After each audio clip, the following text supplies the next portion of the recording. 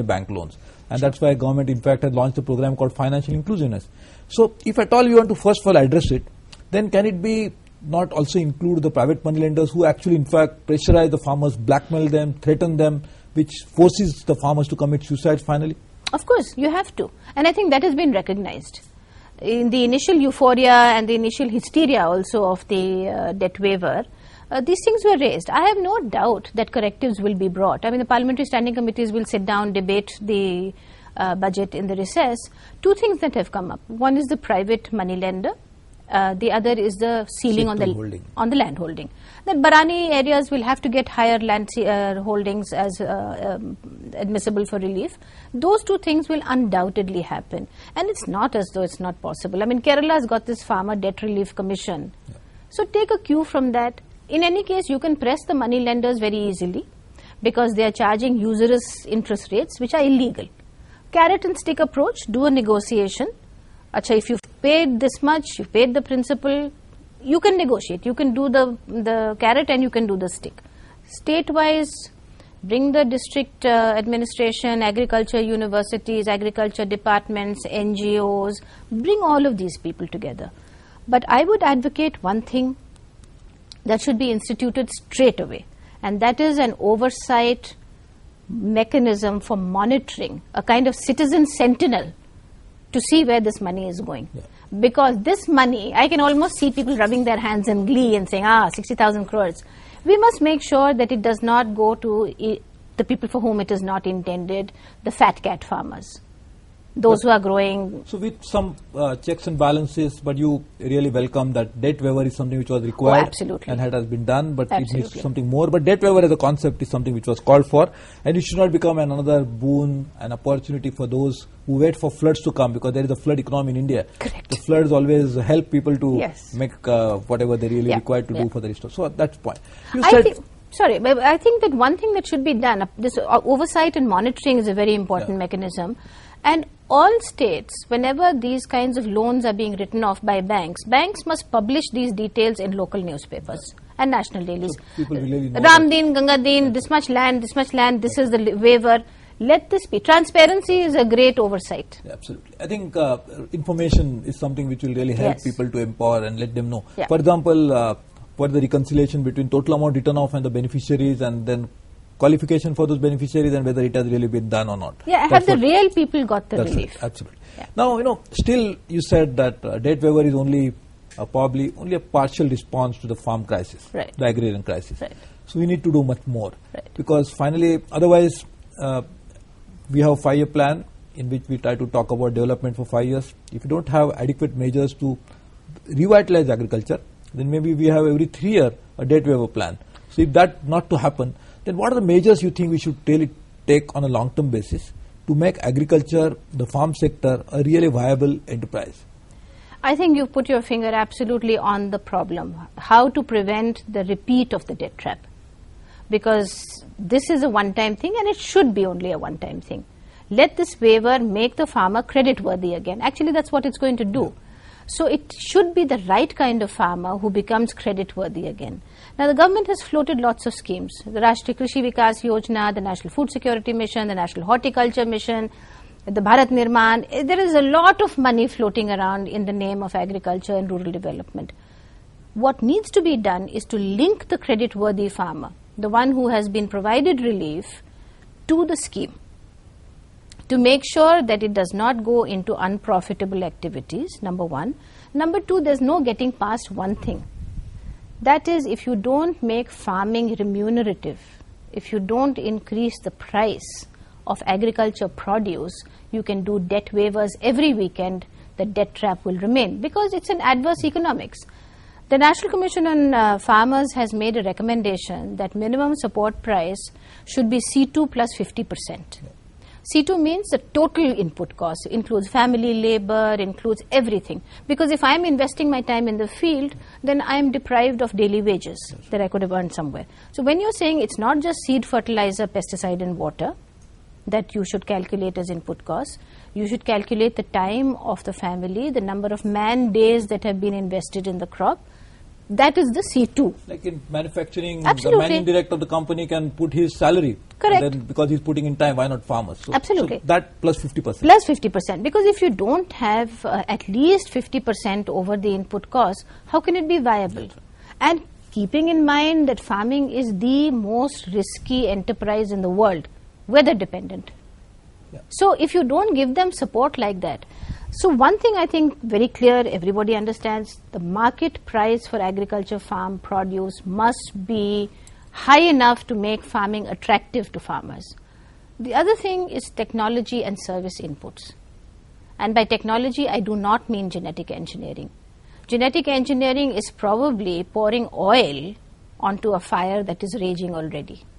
That's the last thing we need. We have a huge genetic diversity in this country. When people say that we are facing climate change, we need to get climate, we need to get adapted varieties, look at your genetic diversity. You know, Gene Campaign is putting up seed banks and gene banks in Jharkhand and in Uttaranchal. Today, agricultural research institutions, the Indian Agricultural Research Institution and the Birsa Agricultural University is using our material, our meaning, material meaning, the material of the farming community that we have collected in gene banks to study drought tolerance because that material is there, you don't need genetic engineering.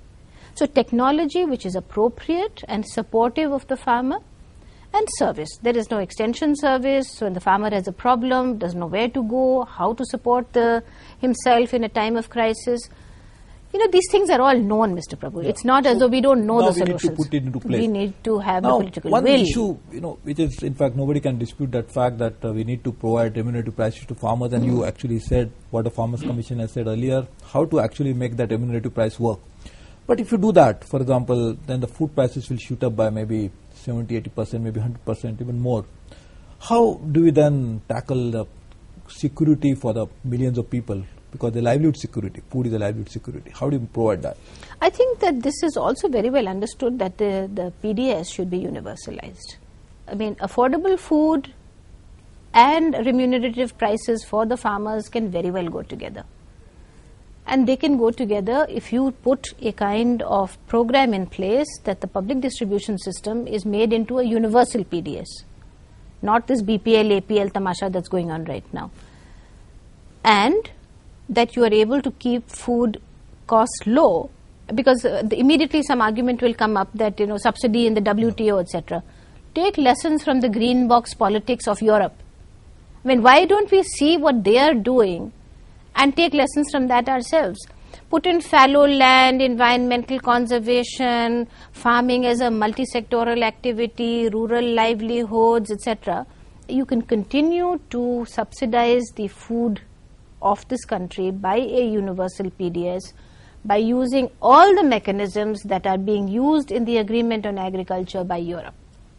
There is going to be nothing that is going to be non compliant, but you have to use it intelligently. Now, if you say where will this come from, where will that come from? The, the, you tell me that the economy is booming at 9%, there is money. You just have to have political will to put the money in the right place education, health, and food. Once these things are taken care of by the state through mechanisms like what I was just suggesting, a universal PDS, which makes food grains available to those kind of people for whom food price is an issue. It's not an issue for everybody. But that sector of India that still has to, and that does not mean people who we call people below the poverty line today, but maybe people, many people in the middle class, the lower middle class, would want to have access to cheaper food. Make food grains available. And then you have covered both. You have covered a remunerative farm cost for the farmer, and you have made sure that you have affordable uh, food price for the people who need support for uh, food. Yeah, you talked about uh, another key input that is required is appropriate technology. Now, you know, in fact, uh, there are already half of the farmers want to leave farming and want to do something else. So there will be fewer number of people, willing farmers, who would like to do farming. And then, as we already talked about, that probably we need lesser land because some land will have to be kept for forest, some land will have to be kept for a growing population. So on a short, smaller land, we need more production. So productivity has to be increased. So technology will be absolutely essential to do that. Do you think biotechnology in an appropriate form can, could be the answer to this? I don't rule out biotechnology as a technology that could one day deliver. but it has got nothing to offer us today. And that is the problem. We need to recognize what the technology can do and what the technology cannot do. Today, the four main crops are cotton, corn, canola, soya, nothing related to, agric- to food security. And there are no crops that have been bred for high yield. The two principal genetically engineered crops are the BT crops for pest resistance and the herbicide tolerant crops for creating uh, a situation where weeding is not necessary, that you kill off the weeds chemically. These are not suited for us. I mean, for us, weeding is an economic exercise. If you have herbicide tolerant crops, all the women who go there to weed during the season and for which they get wages, they will be out of daily wages. So what you are really saying is uh, biotechnology per se is not wrong, nothing wrong with that. What we really need to use is the right biotechnology for the right purpose and for the right cause in the right context. With sufficient testing. We do not have appropriate testing, and I think today the genetically engineered not foods blindly, are but use it in a. they're dangerous today. You have to test better. You have to have better systems. So why? How do you put that in place? Because you know, actually, we need technology, as you said, appropriate one. Biotechnology could be an answer, but with proper precaution, with all the checks and balances in place. Do you think uh, we can we could think about a new law, like you campaigned for a law Farmers' on rights, farmers' yeah, yeah. Could you think about something like this to address this problem? Absolutely. I think a new law is necessary that p- places a lot of emphasis on biosafety.